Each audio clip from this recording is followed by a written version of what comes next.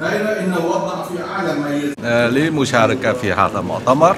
واولا نريد أن نشكر مغرب وملكها لاستضافة وحفاوة وكريمة لاستضافة هذا المؤتمر أستاذي لو سمحت نريد نبذة على المؤتمر الحادي عشر للتضامن آه هذا مؤتمر مهم جدا. يعني فيتنام دائما آه تقدر تقديرا عاليا جهود مبذولة من قبل منظمة آه لدعم السلام والأمن الإقليمي والعالمية. وأيضا نقدر تقديرا عاليا موقف المغرب وعلاقات الصداقة والتعاون بين فيتنام ومملكة المغربية.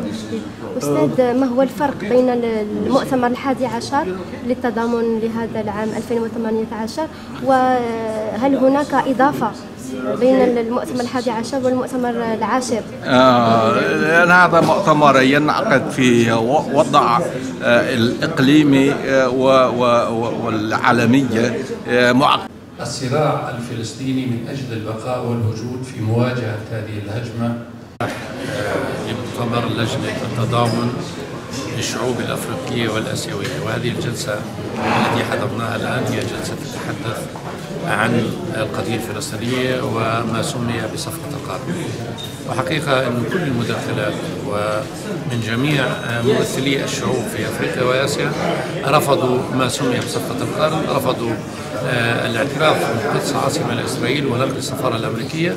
واعتبروا أن هذه الصفقة ستقاوم ليس فقط من الشعب الفلسطيني أو العربي أو المسلم وإنما من كل شعوب العالم الأحرار الذين يرفضون هذا الظلم الواقع على الشعب الفلسطيني.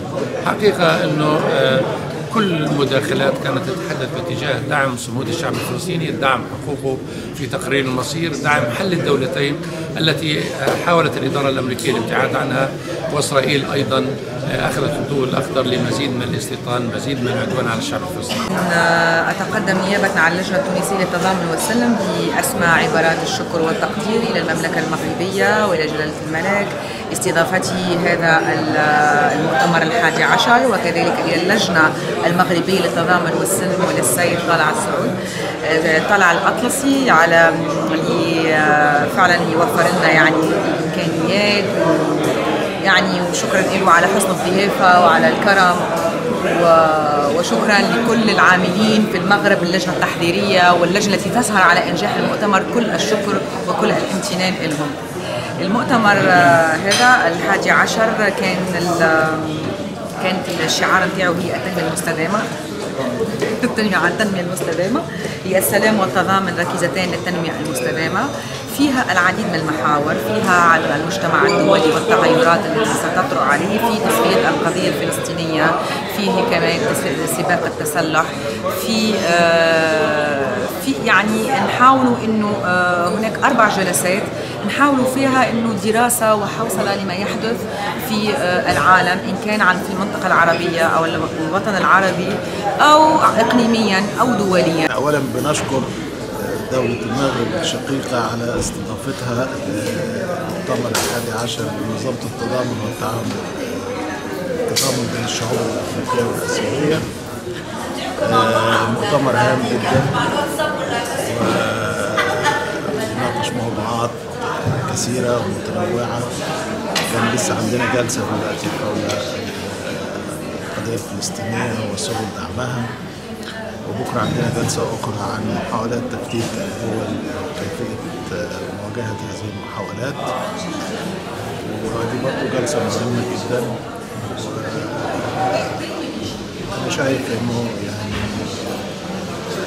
هذه الأشياء لازم الحوار هو أهم شيء بيننا إحنا شعوب أفريقيا وآسيا يجب أن إحنا نركز على التضامن والتلاحم بيننا. لكي تعود الأجواء اللي سادت عند قيام حركات زي حركات بندونج وعدم الانحياز نفتقر لهذه الأجواء الآن. لازم التخاطب ولازم الحوار.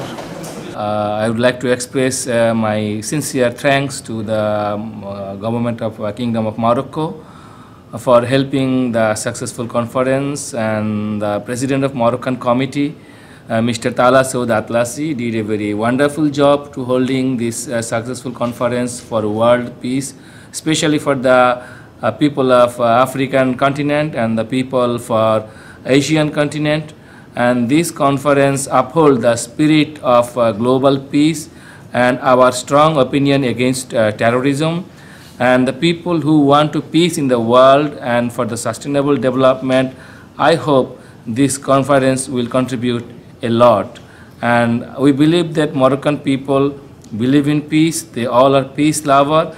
And we the people from bangladesh and the people from the many countries uh, including india nepal and sri lanka are here uh, the people from uh, Japan, people from Russia, uh, Vietnam, they all, we all are here to join our hand with the Moroccan brothers and sisters who are in favor of peace uh, and sustainable development. المؤتمر هل الحادي هناك إضافة؟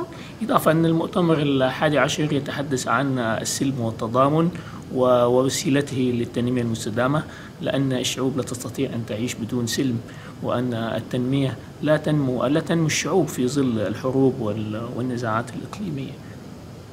آه،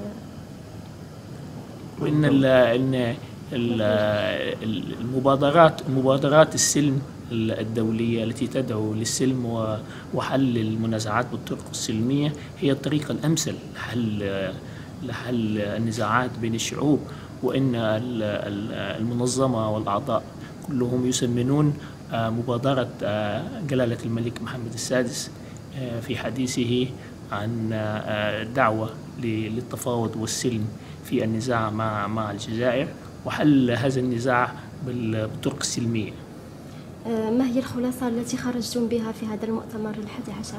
المؤتمر لا. زال في دور الانعقاد وتتحدث الوفود عن المشاكل الدولية والصراعات بين الدول وصراعات التسلح والنزاعات بين الدول وكيفية تضامن الشعوب والمنظمات آه، لإعطاء قوة قوة لدعوة السلم والتضامن من أجل نزع السلاح. بالفعل القضية الفلسطينية على جميع وسائل التواصل الاجتماعي والاشتراك في القناة والضغط على زر الجرس أسفل الفيديو ليصلكم الجديد